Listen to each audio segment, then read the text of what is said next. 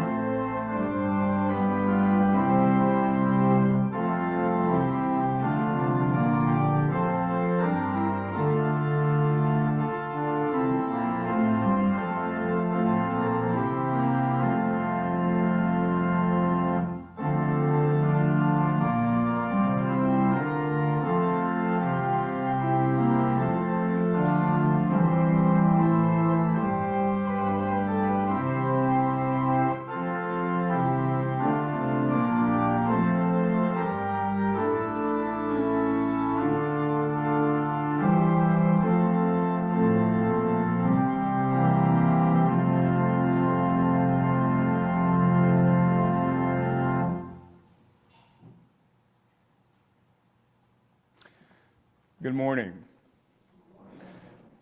The psalmist declares, I was glad when they said unto me, Let us go into the house of the Lord.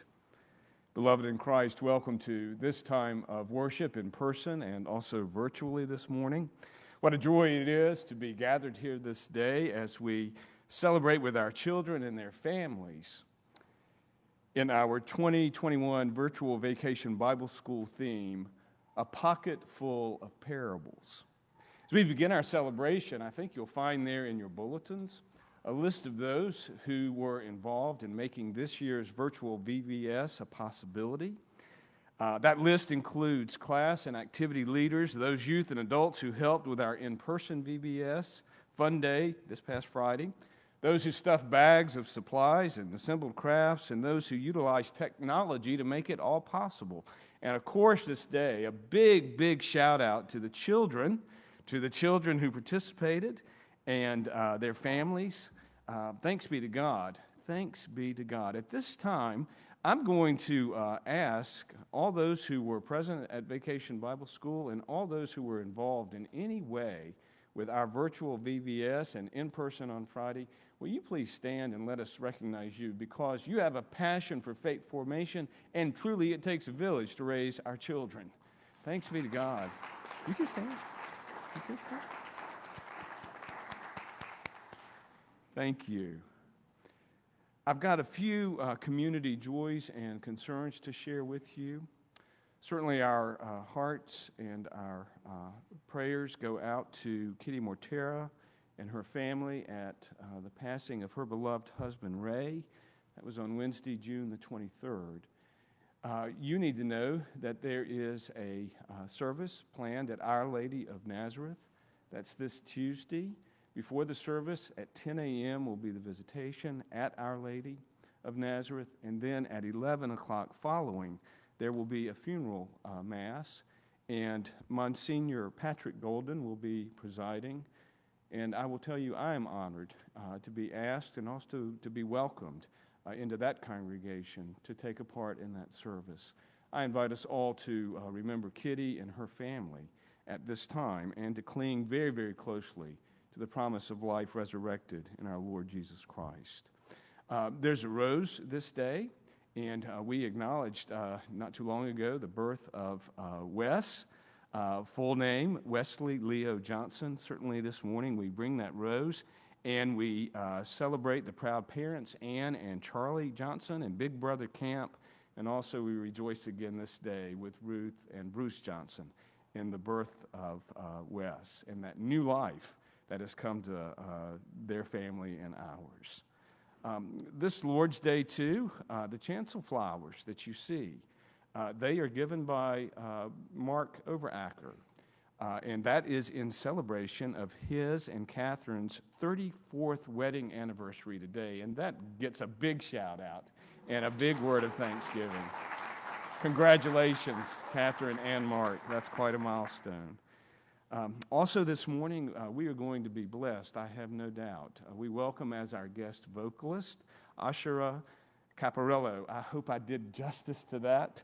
Um, uh, thank you so much for being here and for sharing uh, your vocal talents uh, uh, with us, but more importantly, to the glory of God. Thank you so much. Um, some announcements that I want to lift up. If you'll take out the announcements page that's in your bulletin, I'm just going to touch on these briefly. Uh, you'll see that the Vacation Bible School was in, uh, involved in a Good Samaritan project. And uh, we're uh, continuing to collect medical supplies for the rescue mission and also for the Presbyterian Community Center. And you may drop those uh, off uh, at the church. We'll be doing that uh, through July the 2nd. On the 4th, um, we will begin our Christmas uh, in July. And part of that is also going to be celebrated with an old, what I'm calling an old fashioned 4th of July picnic, except it's going to be indoors uh, here in our fellowship hall. You'll see what you see what's being uh, provided for that. Uh, it should be a great time for fun and good food and fellowship.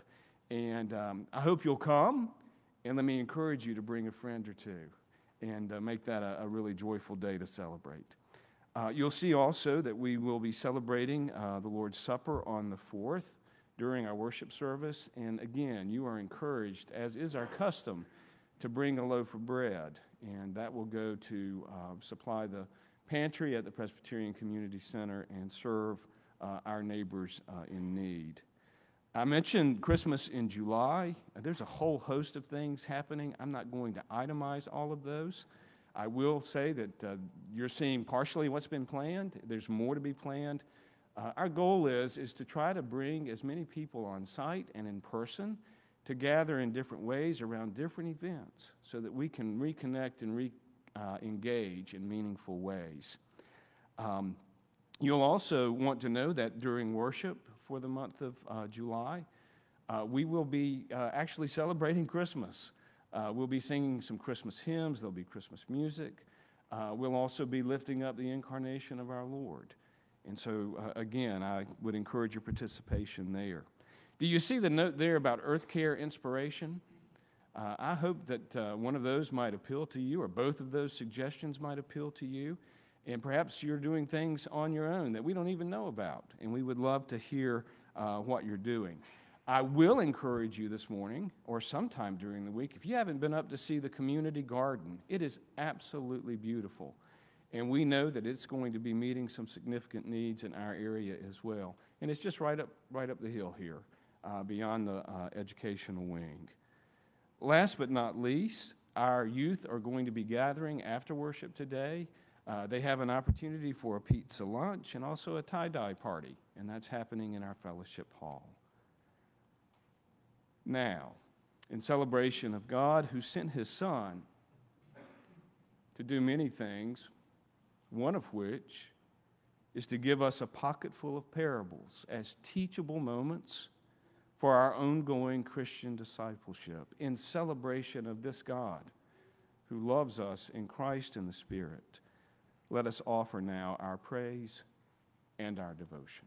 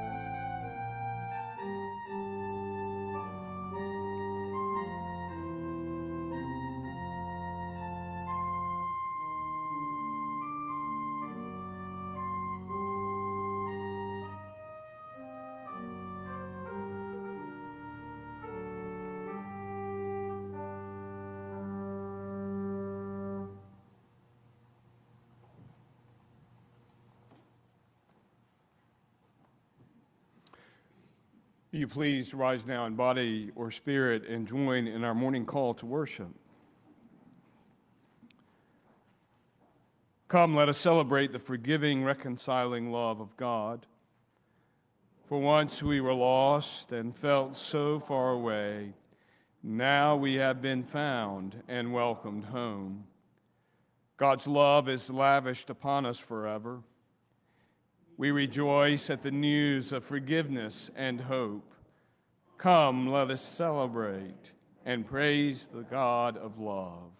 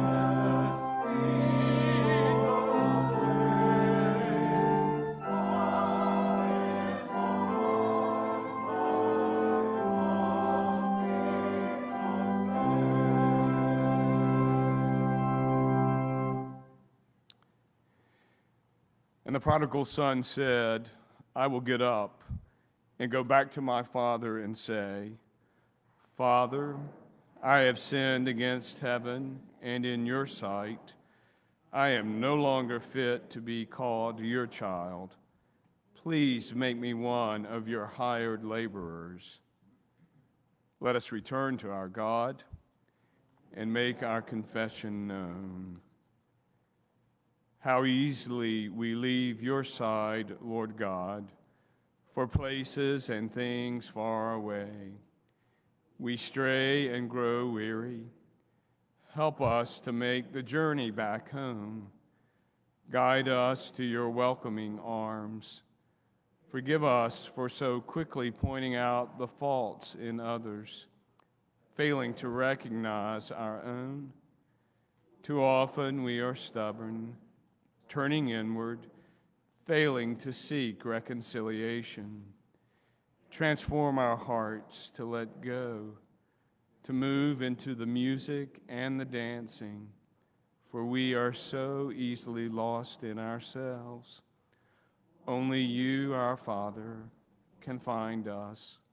Forgive us. Restore our hearts anew. Amen. Just as the prodigal son found newness in his father's forgiveness, so too have we found newness in God's mercy. Friends, I rejoice with you this day. Our sins have been forgiven. Praise be to God.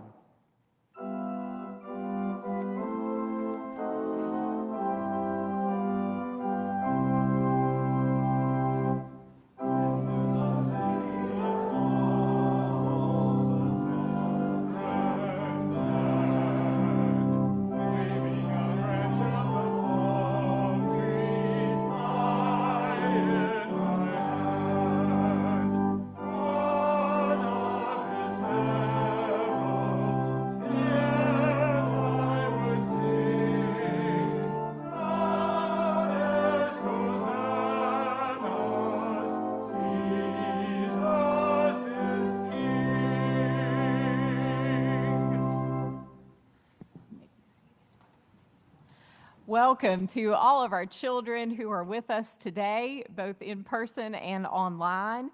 We had such a wonderful time in VBS this week, where, as Kyle shared, we studied the parables, the gifts of stories from Jesus, which teach us how to live. We learned to help others through the story of the Good Samaritan we learn to keep our hearts open and rich and thirsty to receive God's word, like the sower whose seeds fell on good soil. And we learn to rejoice when something like sheep or even people are found and come home.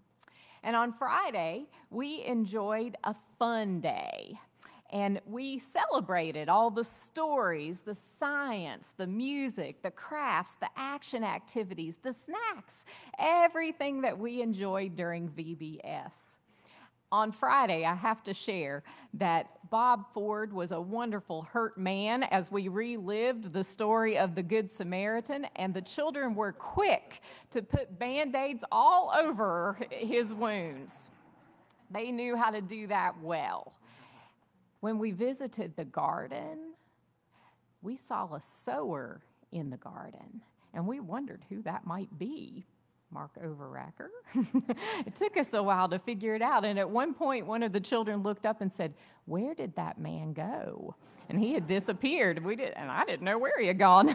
so, and then when we um, were hunting for lost sheep, there was a shepherd wandering around looking for those sheep.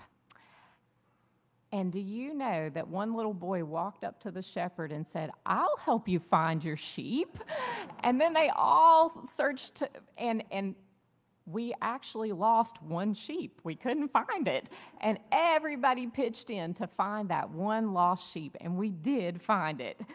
And then we had a wonderful time listening to music, eating snacks, and having a good time dancing to a welcome home party for the prodigal son. We also enjoyed a, an explosive science lab as well as some wonderful music. So you're going to see a slideshow here in just a moment of some of the highlights from our fun day on Friday. And then Miss Mandy and Miss Elizabeth are going to invite the children forward to sing some songs with us from VBS, or one song from VBS. Enjoy.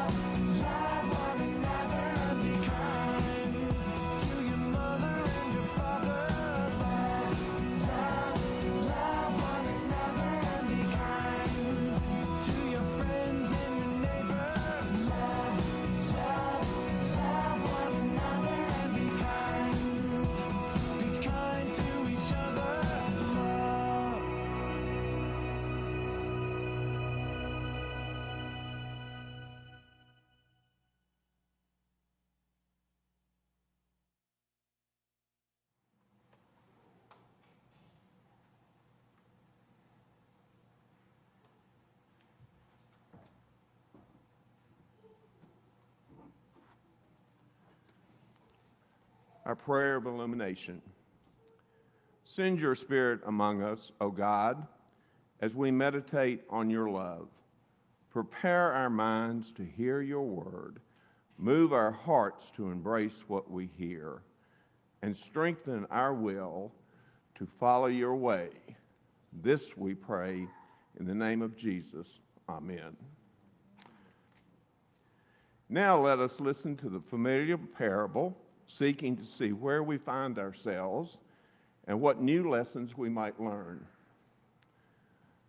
From the Gospel of Luke, chapter 15, verses 11 to 32. The parable of the prodigal and his brother. Then Jesus said, There was a man who had two sons. The younger of them said to his father, Father, give me the share of the property that will belong to me. So he divided his property between them. A few days later, the younger son gathered all he had and traveled to a distant country. And there he squandered his property in dissolute living. When he had spent everything, a severe famine took place throughout the country, and he began to be in need. So he went and hired himself out to one of the citizens of that country, who sent him to, in the fields to feed the pigs. He would gladly have filled himself with the pods that the pigs were eating, and no one gave him anything. But when he came to himself, he said, How many of my father's hired hands have bread enough and to spare, but here I'm dying of hunger? I will get up and go to my father, and I will say to him, Father, I have sinned against you, I sinned against heaven and before you. I am no longer worthy to be called your son. Treat me like one of your hired hands. So he set off and went to his father. But while he was still far off, his father saw him and was filled with compassion. He ran and put his arm around him and kissed him. Then the son said to him, Father, I have sinned against heaven and before you. I am no longer worthy to be called your son. But the father said to his workers, Quickly, bring out a robe, the best one, and put it on him. Put a ring on his finger and sandals on his feet. And get the fatted calf and kill it, and let us eat and celebrate. For this son of mine was dead and is alive again. He was lost and is found and they began to celebrate. Now his elder son was in the field, and when he came in and approached the house, he heard music and dancing. He called one of the workers and asked, What is going on? He replied, Your brother has come, and your father has killed the fatted calf because he has got him back safe and sound. Then he became angry and he refused to go in. His father came out and began to plead with him. But he answered his father, Listen, for all these years I have been working like a slave for you, and I've never disobeyed your command, yet you have never given me even a young calf so that I might celebrate with my friends. But when this son of yours comes back, who has devoured your property with prostitutes, you killed the fatted calf for him. Then the father said to him, Son, you are always with me, and all that is mine is yours. But we had to celebrate and rejoice because this brother of yours was dead and has come to life. He was lost and has been found. This is the word of the Lord. Thanks be to God.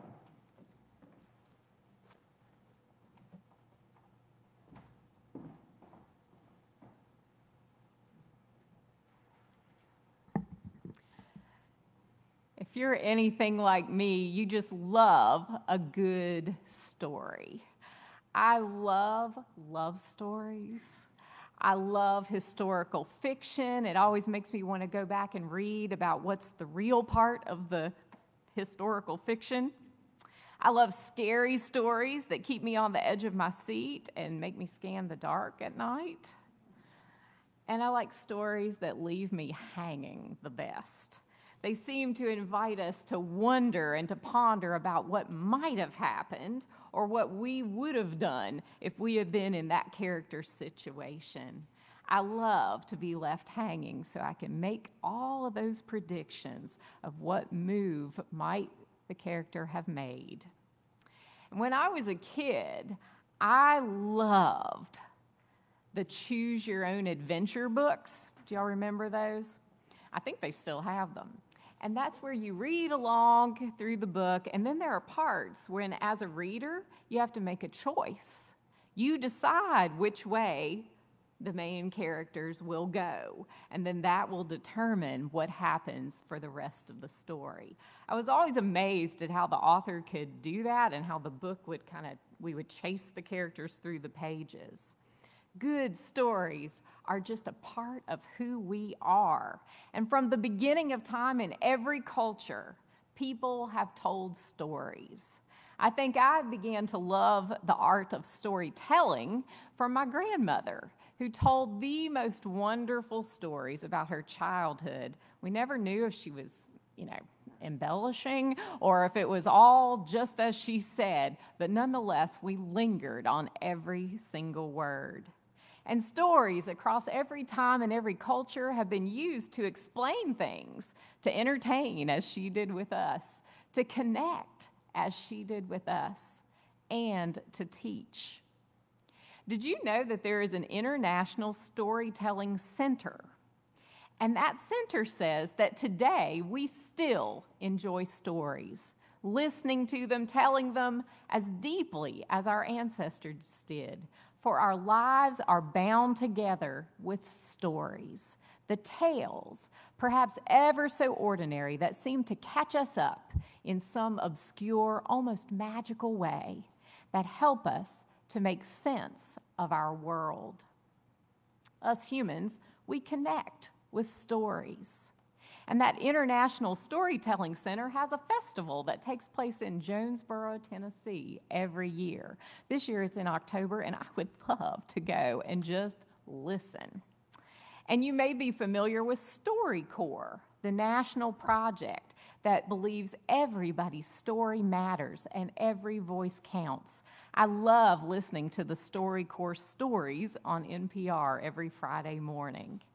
And through stories, we began to see, or we begin to see, that even though we may be very different from one another, our stories help us to also see what we share in common in the human story. Teachers also know the power of stories to teach. I'm always amazed in my course evaluations at Radford at how my students comment on how much they love learning from my stories of teaching in the classroom. And there is a learning theory that says that we learn by watching and listening but from more knowledgeable others. And stories are one way we can learn from one another. I can use your story to make better choices in my life or to make the same choice. Stories can even be used as therapy to connect and to help others see that they aren't alone.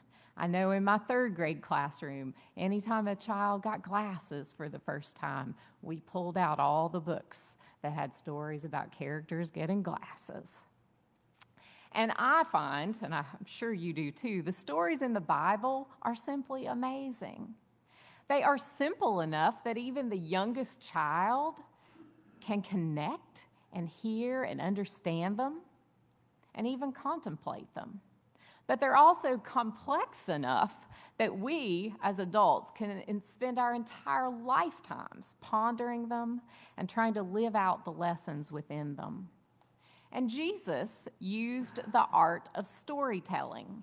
And in doing so, he captured his audiences. He left them thinking and wondering and pondering the meanings even us today. And in VBS this week, we, as we've shared before, we immersed ourselves in four of the stories that Jesus told. And so today I'm going to focus on one of those stories. You know which one. And you know it well. It's familiar, but it's one of those stories from Jesus that I think does us well to visit and revisit time and time again because it's a tough one. We know it as the prodigal son. Some scholars argue that it should be called the parable of the good father to emphasize the goodness of the actions of the father in the story. Other scholars argue that it should be called the parable of the prodigal sons, plural, because both sons have failed to use what they have been given in a wise and well way. And so, in the spirit of VBS, I'd like to take a look at these three familiar stories in the char- or characters in the story today, and I invite you to ponder: Who are you in this story? Where do you connect? Who do you want to be? And what might we learn by revisiting this story yet one more time? So let's start with that younger son, the one deemed prodigal who lavishly wasted his father's fortune. Perhaps we can all relate to him on some level because he fiercely wanted to be independent, to get out of town, as far away from home as possible, and be on his own. He got his fortune and went on his merry way, and he enjoyed a fancy high life for a while, spending money left and right, doing we don't even know what. He was focused purely on his own gain and his own pleasure. But as the story goes, a famine hit the land, and because he had squandered all that he had, the younger son ended up working for others, feeding pigs, wishing he could have just a little bit of what the pigs were eating. And we may laugh, we did crafts with pigs during Bible school this week, and we may laugh a little bit about the pig pen stuff. But in the culture of the day, we've got to remember this boy was an embarrassment to his father and his family. It was unclean to surround oneself with swine and Gentiles. This was all serious stuff. But then he comes to his senses his belly is hungry, but his heart is also heavy. And he realizes all he had back home with his father, and he's so sorry. And so, from the younger son's experience, how do you relate? Where are we reminded that God has given us so much? We ask for a lot too. Are we squandering it? And what will it take for us to realize and come to our senses in this light? Where have we been so focused on ourselves that we've overlooked how our actions might be affecting others, even those we love? And from this son, perhaps we also can see a picture of repentance, a turning around which takes a lot of courage to walk back home. And as he rehearses his words, his words pleading for forgiveness, his father sees him from afar. I can't help but wonder how many times that father had looked down that road, wondering where his son was, what he was doing, if he was even still alive. I wonder how often he looked down that road, longing to see his son returning home. And so when he sees his son, the younger son doesn't even have a chance to get it all out. His father welcomes him full on, open arms, pulls out the finest robe that they have, a ring, and puts sandals on his feet, and orders his workers to begin to prepare a party with a fatted calf. In this Father, we're reminded God never leaves us. God never gives up on us. God's arms are always welcoming us home, even when we have gone astray on our own accord. There is nothing so bad that God would leave us, forget about us, and turn God's back on us. And with the robe and the ring and the calf and the sandals, we see that even though we mess up royally, God gives us the best that life has to offer. God doesn't give us the leftovers we deserve so often. The bounty of God's kingdom is open for us all, and there is joy there. And while we typically see the Father in this story as a portrait of God, open arms, welcoming us home, perhaps we could look at the Father in a different way as well. How do we greet those who have hurt us, who have disappointed us, shamed us? Do we do so with open arms? Do we offer our best? And do we want the best for those who haven't earned it or even deserve it? Where do we recognize, initiate, and celebrate with joy when those who around us have been lost and are now found? So we have the younger son, the father, and then there's that older brother who by birthright would receive two thirds of his father's estate, regardless of his brother's actions. This older brother is coming in from the plow fields, hears the festivities in the distance, can't figure out what's going on. He hears music, rejoicing. And when he finds out why, he's bothered and he is irritated. He kind of reminds me of my kindergartners from many years ago. They have a keen sense of what's fair, and they're not afraid to call it out. Ask any kid about fair, and they do understand it.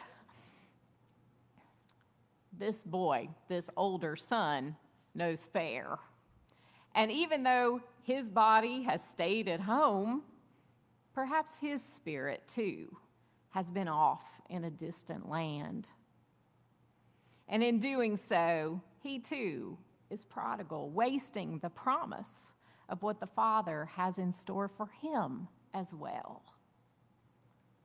Some scholars say, think that this elder son represents the religious authorities of the day, self righteous and quick to point fingers. Others see the elder son as the church today, those who are good, who follow the rules, but also point fingers, those who might shake their heads at the church's embrace of people that have always been disapproved of. One author states that this older son is the best of us at our very worst. Perhaps we've been there with this elder son pointing out the unfair of what she gets or he gets, but not me. And it bugs us. A friend of mine recently shared a story with me that I'd like to share with you today, speaking of stories. And it goes like this There's a tale of two monks traveling together walking down a road.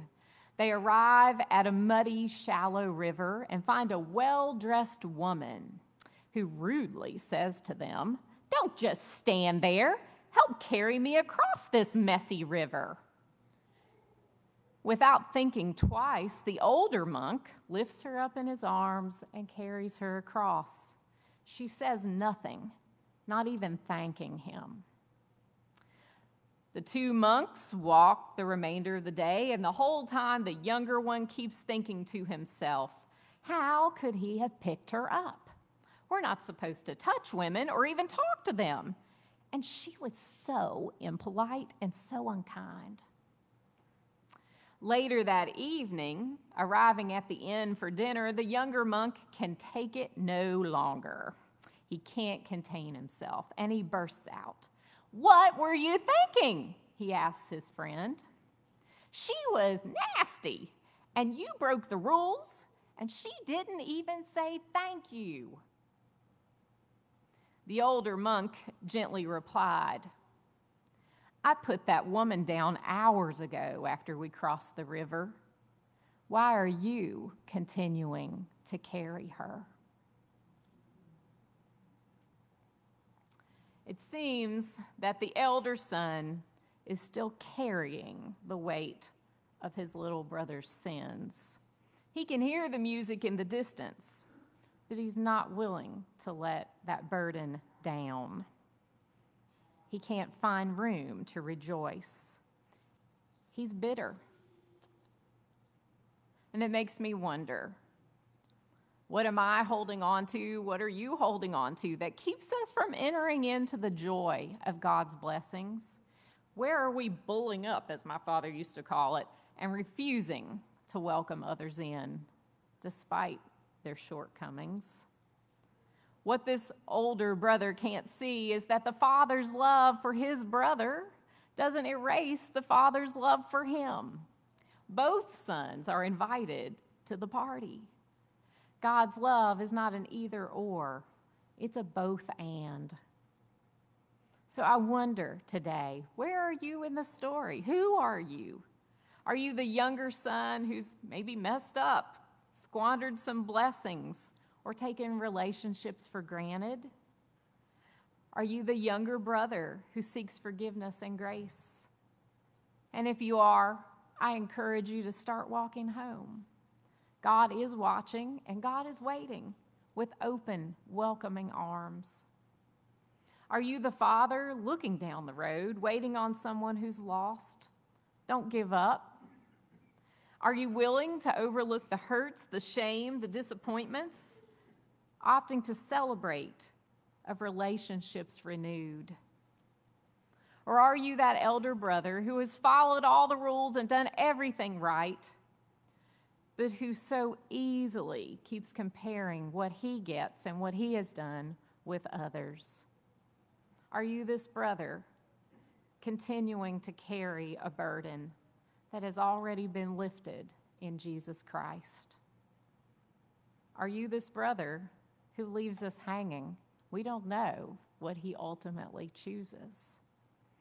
So here we are at this point in the choose your own adventure, the part where we get to write the brother's story as a part of our own. Will we stay with the pigs or go home? Will we wait and receive others with joy? Will we go into the party or will we carry the weight and refuse to rejoice?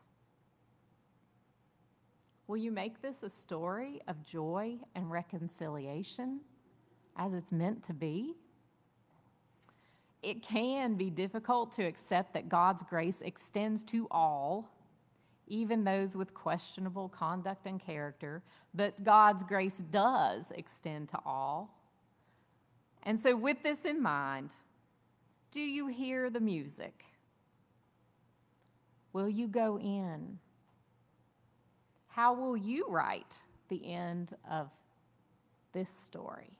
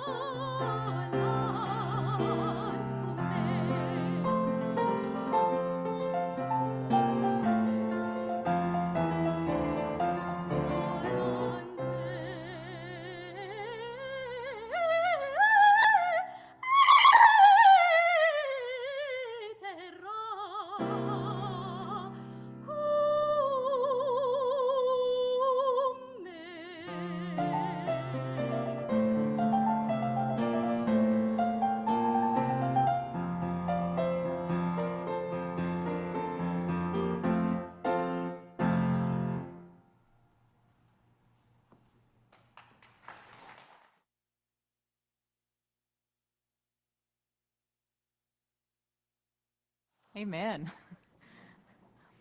What a wonderful thing it is that our God is a forgiving God who receives us with open arms as beloved children returning home. Let us now meditate upon our blessings, and may our offerings today be used to support those who are, need, are in need of love, grace, mercy, and reconciliation.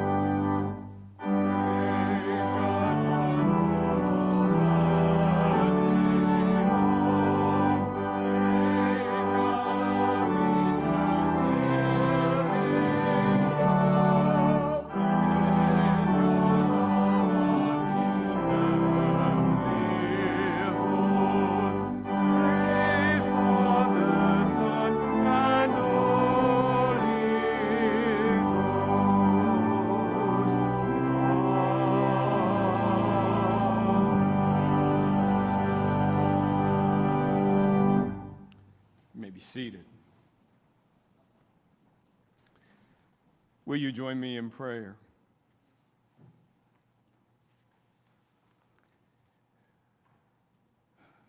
Loving God, you take us at our best and our worst and everywhere else in between and love us just the same. Like a waiting parent, you yearn for us to return home to you when we wander away. As God of the faithful and of prodigals, your steadfast love and tender mercy mark the journeys we walk every day.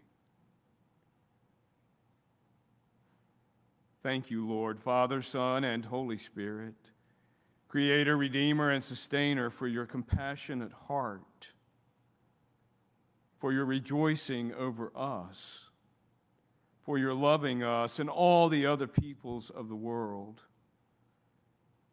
in the hopes that we will honor and serve you with a tireless, faithful passion to seek your truth, to pursue your justice, to work for your peace, and to show the mercy you show us to every other living thing.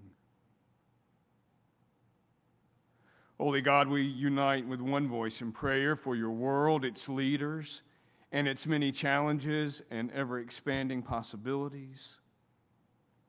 As part of your church universal, keep us attentive to the teaching of your parables. For though they are ancient texts, they remain instructive for us in the living of these days.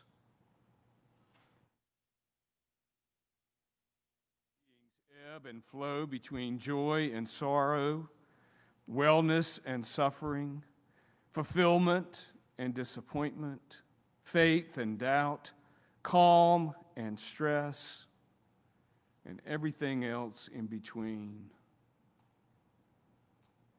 Help us to be mindful of you in all the moments we live. Center us and direct us to pray and work without ceasing, to comfort the brokenhearted, to live each day with honesty and integrity, to stand with family and friends who grieve the passing of loved ones, and in every circumstance to be humble before you and kind toward our neighbors. Hear our prayers, O God, and make us instruments of your peace, mercy, and justice as we work for the reconciliation of the world. In the name of Christ, who shows us how to live and how to die well and who teaches us to pray as one, saying together, Our Father, who art in heaven, hallowed be thy name. Thy kingdom come, thy will be done, on earth as it is in heaven. Give us this day our daily bread, and forgive us our debts, as we forgive our debtors. And lead us not into temptation, but deliver us from evil. For thine is the kingdom and the power and the glory forever. Amen.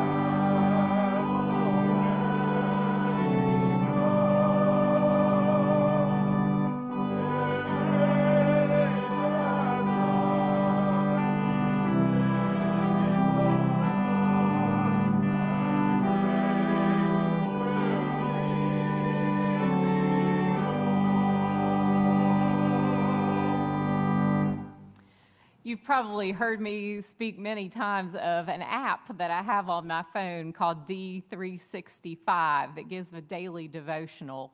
Well, one writer in that app a few weeks ago reminded us that God's grace offers us blank pages, and God's grace invites us to continue to write our part in God's story. So keep writing knowing we serve a faithful, loving God who extends open arms and who has the power to weave our story into God's good plan for the reconciliation of the world.